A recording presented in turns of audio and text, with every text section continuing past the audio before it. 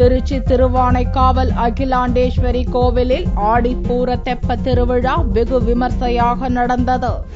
திருச்சி திருவானைக்காவல் அகிலாண்டேஸ்வரி கோவில் அப்பர் சுந்தரர் ஞானசம்பந்தரால் பாடப்பெற்ற ஸ்தலம். இங்கு ஆடி மாதத்தின் போது அம்மன் சிவனை வேண்டி தவம் இருந்ததாக வரலாறு. இந்த கோவிலில் ஆடி மாதம் நடைபெறும் ஆடிப்பூரம் மற்றும் தெப்ப திருவிழா மிகவும் பிரசித்தி பெற்றது.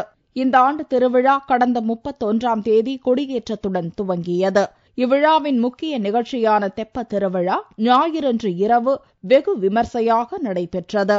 முன்னதாக அலங்கரிக்கப்பட்ட தெப்பத்தில் பிள்ளையார் வள்ளி தெய்வானையுடன் சுப்பிரமணியனை தொடர்ந்து அகிலாண்டேஸ்வரி ஜம்புகேஸ்வரருடன் எழுந்தருளி பக்தர்களுக்கு காட்சியளித்தார். அகிலாண்டேஸ்வரி வந்து இங்க வந்து பிரசித்தி பெற்றது ரொம்ப வந்து தவசா இருக்கிறது. அதனால இந்த அம்பாவை வந்து பிரார்த்தனை பண்ணினா எல்லாருக்கும் எல்லா விதமான கஷ்டங்களும் நீங்கி எல்லா விதமான காரியங்களும் ஜெயமாயி எல்லாம் வந்து நல்லா இருக்கணும் வேண்டிக்கிறதா ஐதீகம். அதனால இன்னைக்கு பன்னெண்டு நாள் பூர்த்தி. மொத்தம் பன்னெண்டு நாள் திருநாள். அம்பாள் வந்து எல்லாருக்கும் காட்சி தரதா ஐதீகம். அம்பாள் சாமி அது சேர்ந்து காட்சி தரதா ஐதீகம்.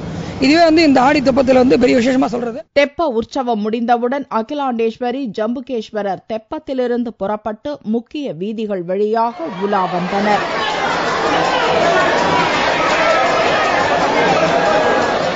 இவ்விழாவில் பக்தர்கள் ஏராளமானோர் கலந்து கொண்டு தரிசனம் செய்தனர்.